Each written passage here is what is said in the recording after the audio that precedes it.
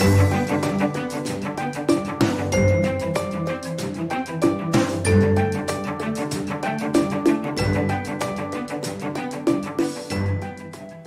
hello everyone. Welcome to Winning Women Wednesday with Lady Renee of Transformation Community Church. Thank you all so much for tuning in today, and I pray that all is well with each and every one of you. Well, today I just stopped by just to encourage us a little bit and let you know God searches us, right? No matter what we're going through, no matter what our circumstances are, He searches for us, right? And He is there for us. Amen.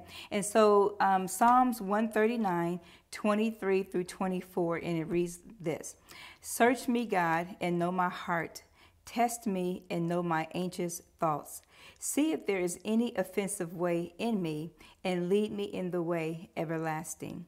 So I was I read this article. I actually came across my um, uh, today my daily devotion, excuse me, uh, and it was about a refugee named Michael. And it says that he lived in a strange land and he struggled to adapt, you know, and learn the new language. And so uh, he misses his old friends, of course, and you know he tries to fit in in his new environment.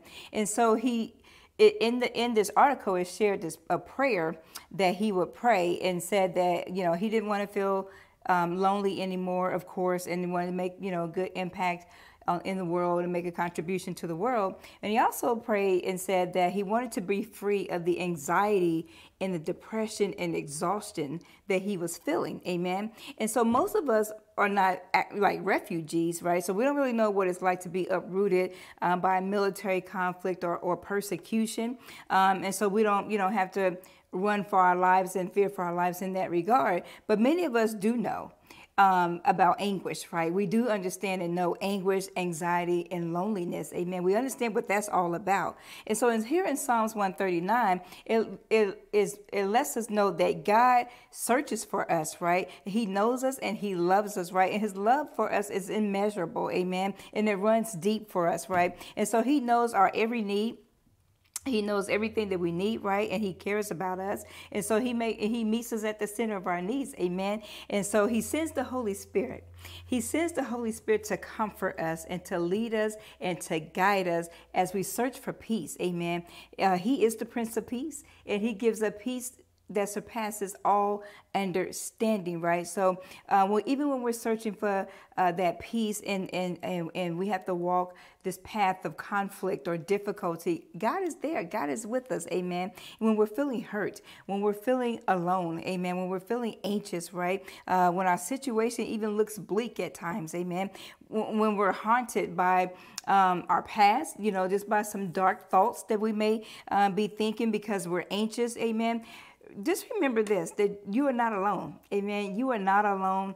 Um, there's others in the earth that feel what you feel, have felt what you felt, but most importantly, God is there with you. Amen. And He sends the Holy Spirit. The Holy Spirit is there to comfort you. Amen. And so, our loving and caring God is always near.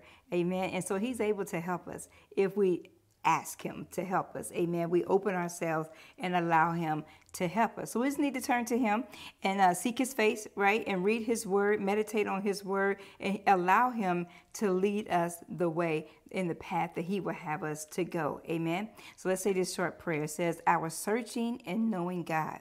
Please guide us as we seek to walk with you. Help us to be your faithful followers in good times and in bad. In Jesus' name, amen. So listen, until next time, know that I love you, but God loves you so much more.